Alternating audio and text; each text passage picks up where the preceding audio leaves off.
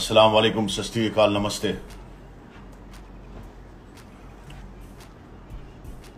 शाम ढले हर पंछी को घर जाना पड़ता है। कौन खुशी से मरता है, मर जाना पड़ता है। मेरे एक दोस्त ने आज सुसाइड किया है, सुशांत सिंह राजपूत ने। मुझे नहीं लगता उसने सुसाइड किया है because he was a very very strong man motivation मतलब ऐसा मोटिवेट करता था लोगों को। हम हमेशा मिलते थे हमेशा अपनी फ़िल्म की बात करना, अपने कैरेक्टर की बात करना, अपने किरदार की बात करना, मुझे नहीं लगता उसने सुसाइड किया है। महाराष्ट्र सरकार को और पुलिस को और मीडिया को इसमें अच्छी तरह से छानबीन करनी चाहिए, ये मुझे लगता है। और एक बात मैं सोशल मीडिया के लोगों से कहना चाहूँगा कि कुछ लाइक और कुछ कमेंट के लिए तुम लोग इंसान की डेड बॉडी के फ़ोटो डालते हो।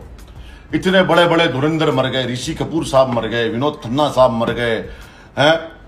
इरफान खान साहब मर गए, ये सुशांत सिंह चला गया, ये सब की तुम बॉडी के पिक्चर सोशल मीडिया पे फैलाते हो। इंसान मर गया है, उसकी डेड बॉडी के फ़ोटो आप डालते हो। अगर तुम्हारा बाप मर जाएगा, अगर तुम्हारी माँ मर जाएगी, अगर तुम्हारा भाई मर जाएगा, तुम्हारा दोस्त मर जाएगा तो क्या उसकी डेड बॉडी के फ़ोटो तुम घुमाओगे?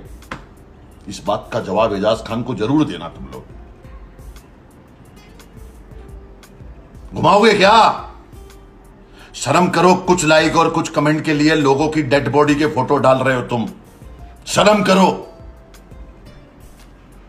अल्लाह हाफिज, दुआओं में याद रखना और अल्लाह के ज़िक्र का ज़ुबान पे स्वाद रखना और सोचना इस बारे में, सोशल मीडिया के कीड़ो।